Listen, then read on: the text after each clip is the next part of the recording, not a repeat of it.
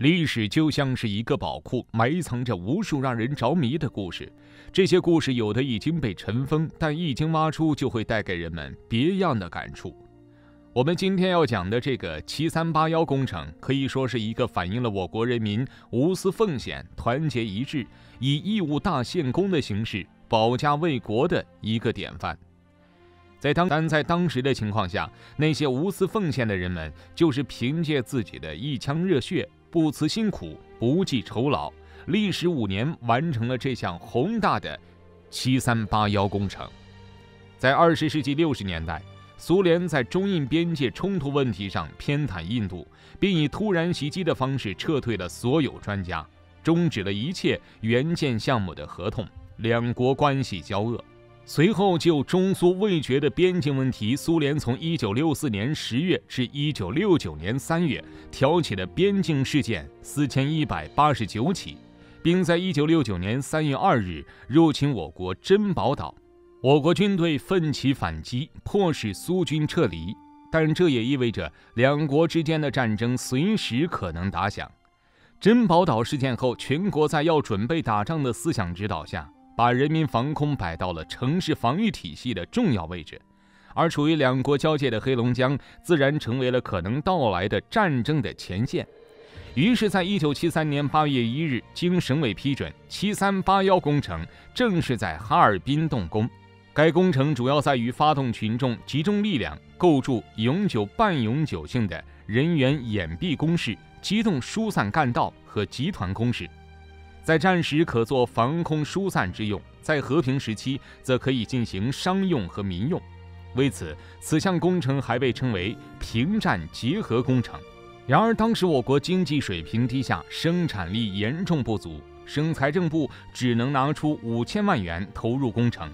这对于一个长达十多公里的地下工程来说十分紧张。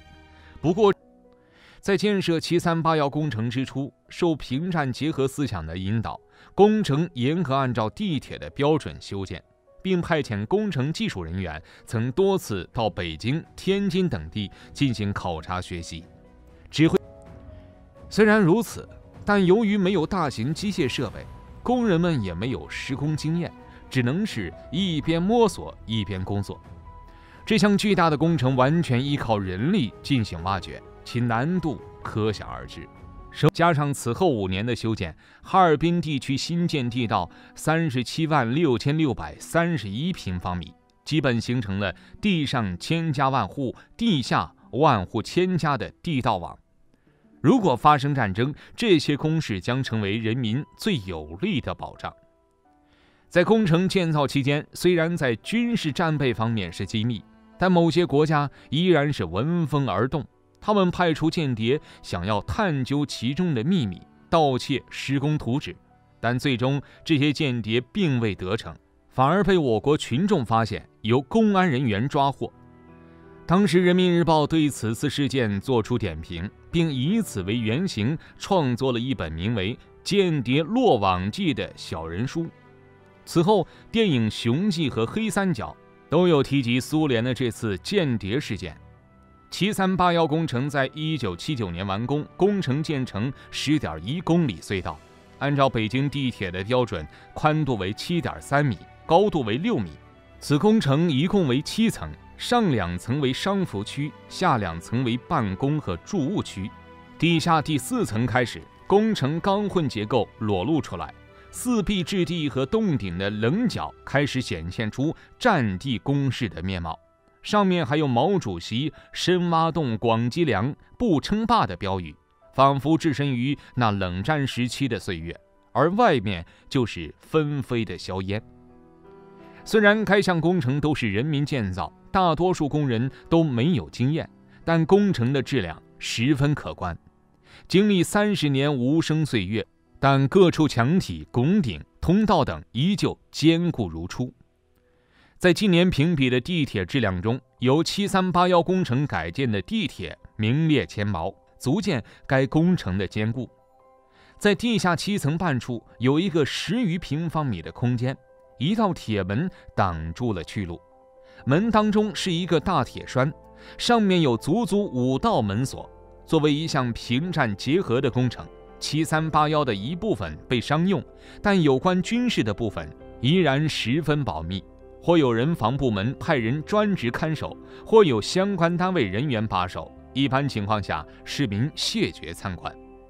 具有经历的人士回忆，地下七层是一个巨大的拱形通道，宽大的混凝土拱板高高的扣下，整齐而肃穆的排列，犹如一条伏羲的卧龙，甚至可以容纳两辆重型坦克并行。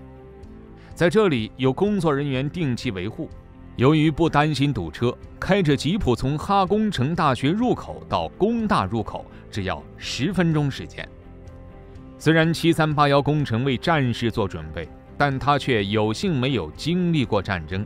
在和平时期，该工程被用作商业用途，地下商业街每年营业额在三十亿元左右，安置就业人员五万五千人。有不过，这项伟大的工程是按照地铁标准建设，自然要用作地铁才名副其实。